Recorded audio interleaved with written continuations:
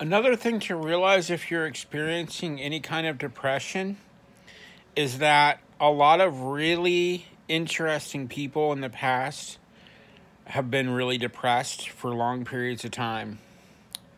Um, a lot of poets, a lot of uh, musicians, a lot of uh, thinkers and philosophers, writers, um, even like politicians or whatever from the past.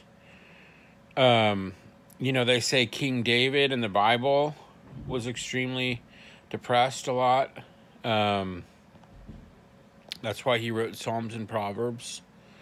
So when you find yourself feeling down, you're actually in pretty good company. And also, I think of the Krishnamurti uh, quote where he says, It's no benefit to. Um, something, I'm paraphrasing, it's like, there's no benefit to, to fitting into a toxic society, right? So it's like if our society's pretty toxic, right? So if you're just always feeling happy go lucky, you know, it might not be the best thing, right? Maybe maybe sometimes feeling a little bit down could be appropriate for our times, right?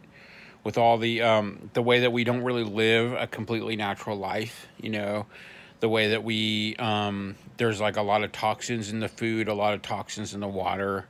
Um the there's a lot of um toxicity in the media.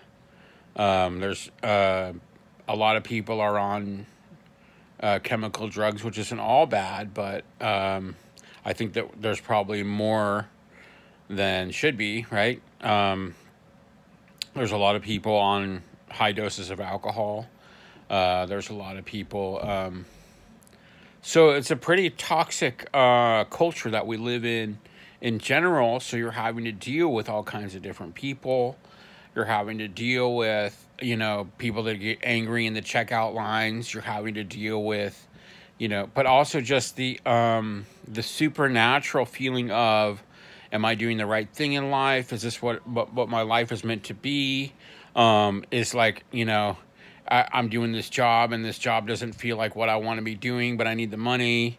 Um, I or I'm studying this thing in college because my parents told me to and I don't really like it and it doesn't really fit my soul. You know, a lot of stuff like that could make us depressed when we're not doing the things like that we know we're supposed to do or that we know that we're good at, right?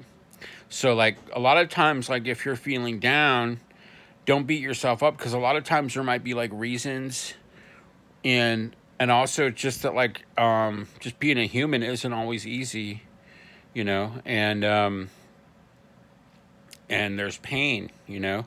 There's pain in growing up, there's pain in getting older. There's pain in losing your teeth or having your teeth hurt or headaches, toothaches, you know. Uh, so uh, just don't feel like too bad if you're feeling too bad.